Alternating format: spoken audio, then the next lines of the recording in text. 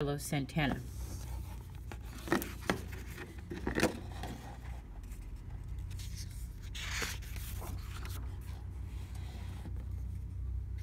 There's some beautiful artwork in here. I'd like for you to check this out and take a look at it.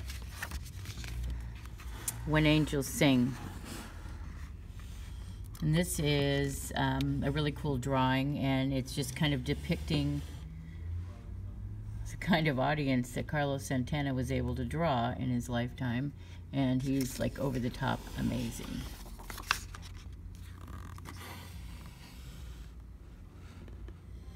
When you were born, your tia abuela called you El Cristalino, the crystal one.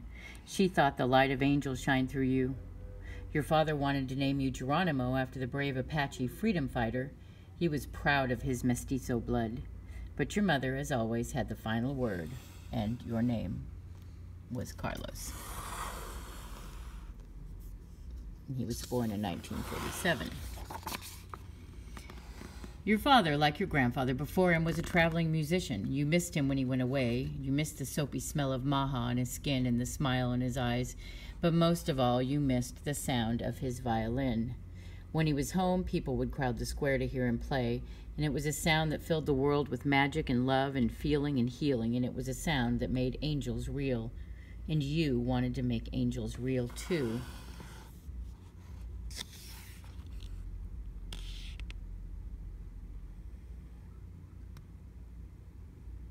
So this is what he, he felt like when he was watching his father when he was a child.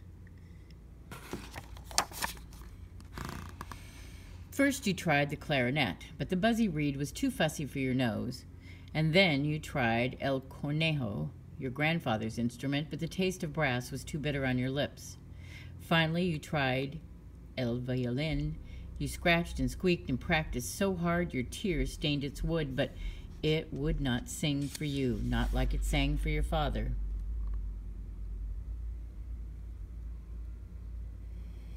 There were no angels when you played, not yet at least. When I am good enough, they will come, you thought. To you, life in Autlán de Navarro was escondidas, hide and seek, played beneath the mesquite trees with your brothers and sisters. It was the plop plop of red ripe mango. It was the crew crew of a chachalaca bird and the bubble boil of pozole on the stove. On special days, it was biznagas, sweets made from cactus, and alfajor, a kind of cookie made with dulce de leche. But life without running water and electricity was hard, and when the nibble sting of the chinches and the pulgas became too much, your mother sold everything and took you to Tijuana.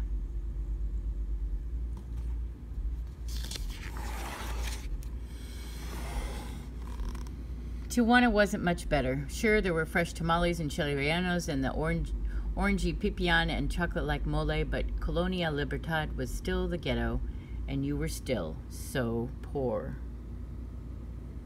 Soon you were dressed like a charro playing two violin for 50 cents a song. La cucaracha, besame mucho, they said. Tourist music, you thought.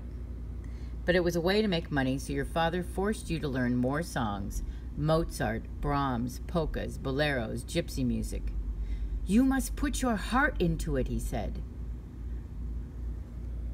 You could not. This is not the music my angels want to hear, you thought. This is why they do not sing for me.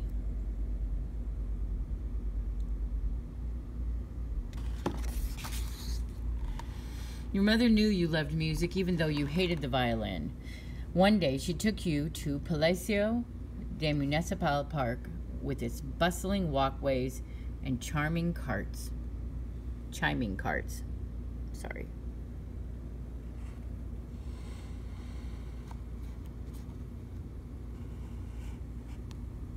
You had heard the blues before, but you had never seen how the music was made.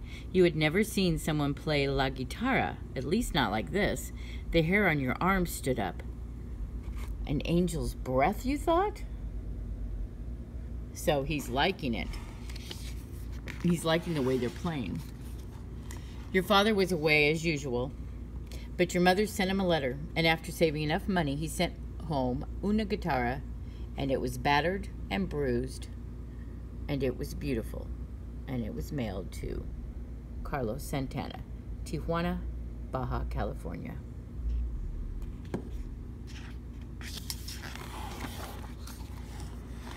You found old an old radio and took your guitar and played along in the storage room in the dark because that was the only quiet place in the house. You closed your eyes and you let your ears lead the way and you taught yourself to follow the plunk of el piano and the bounce of el bajo and the sway of el saxophone and most importantly the groove of la guitarra. You collected the ingredients and marinated your soul in them, and learned that playing the blues was not about the color of your skin or which parts of town you came from. It was about feeling the music. You did not put your heart into it like your father had said. Instead, you let the music put its heart into you.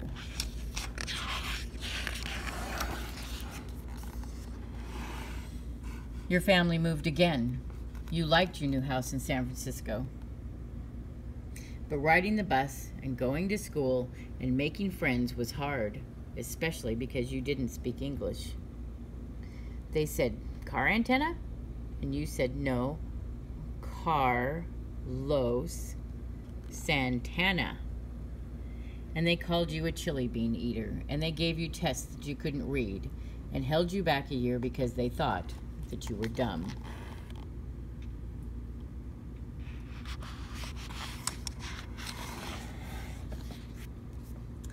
So you ran away, all the way back to Tijuana, just just you and your guitar. My angels will come, you thought, and they will tell me I'm good enough. And you watched TV and you improved your English and you learned how to respect a song and its melody.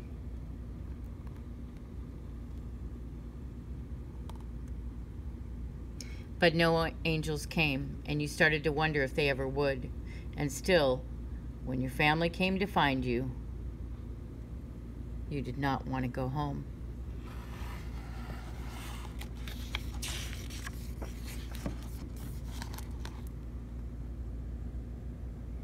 San Francisco was a mess of music, just like the jukebox at Tic Tock Burgers where you worked.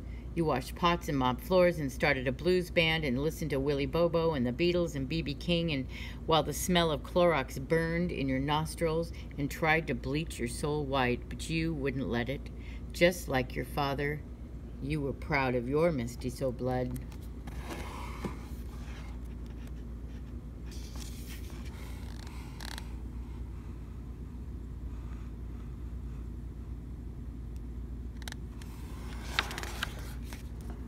Like your brother, or your brother was living in the Central Valley. That's up by us. We live in the Central Valley. He was a campesino working the fields. Like so many migrant workers, he suffered under the cruel gear crush of ex exploitation until Cesar Chavez and Dolores Huerta started fighting back. Si se puede, they said. Yes, we can.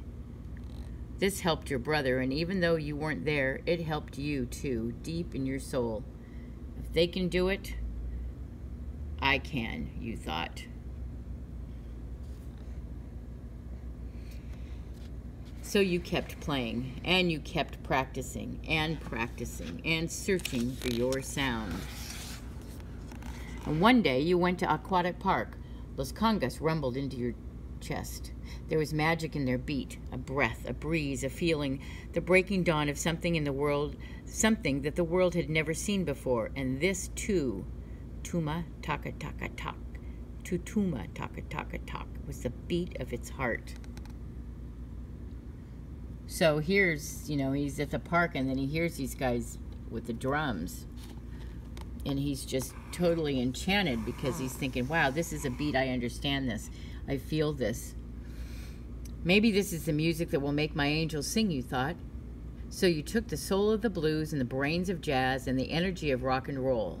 And to that you added the slow heat of Afro Cuban drums and the cilantro scented sway of the music you'd grown up with.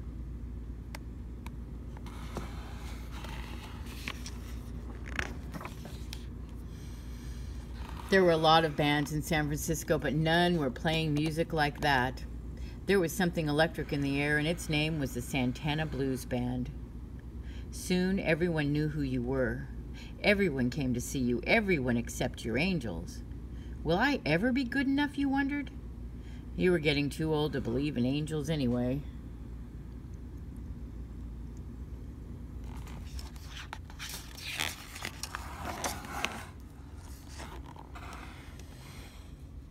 All around you, the nurturing light of possibility was beginning to glow. Martin Luther King Jr. was changing the world, and the young people like you were too. Taking your, you were taking your hearts and coloring them open and making the world a better place.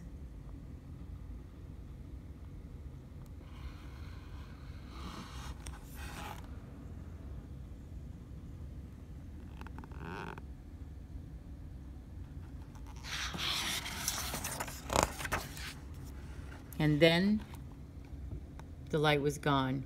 He was gone.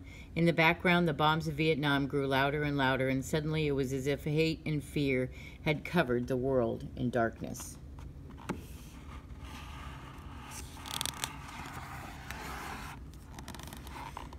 But you knew music was a light. You'd seen the soul sound of your father's bring joy and hope.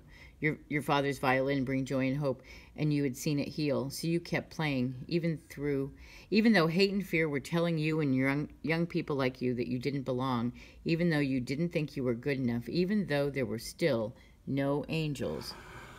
Carlos Santana played on.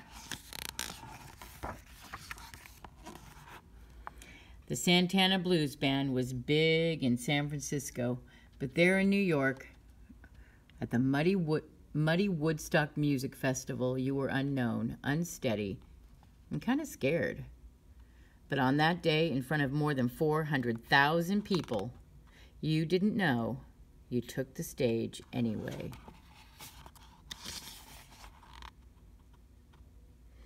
You looked out into the audience, hoping for a miracle, hoping for something to tell you that you were good enough, hoping you had been wrong to stop believing in angels. But there were no angels out there. There had never been angels out there. And suddenly, you knew why.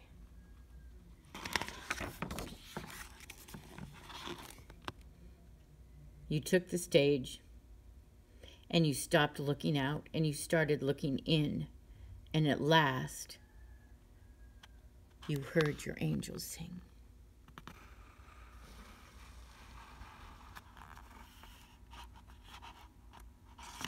Was inside of him. There's the real Carlos Santana today. On the heels of his career making performance at Woodstock, Carlos Santana became an international music star. Before world music was even a genre, Santana pioneered a unique sound that fused American blues, rock, and jazz traditions with the sound and feel of Latin American and African music. Santana's band, like his music, was always multicultural. And that that is the end of this story and the end of this magnificent book about this magnificent musician. And I bet you if you ask your parents or even your grandparents to play one of their favorite songs, I bet you they know exactly what it is. So, that was a little piece of rock history, and consider that your library skills for this time. And this book is a biography. So you will find it in the biography section under B and then MAH for the three letters, the first three letters of the author's last name. So long.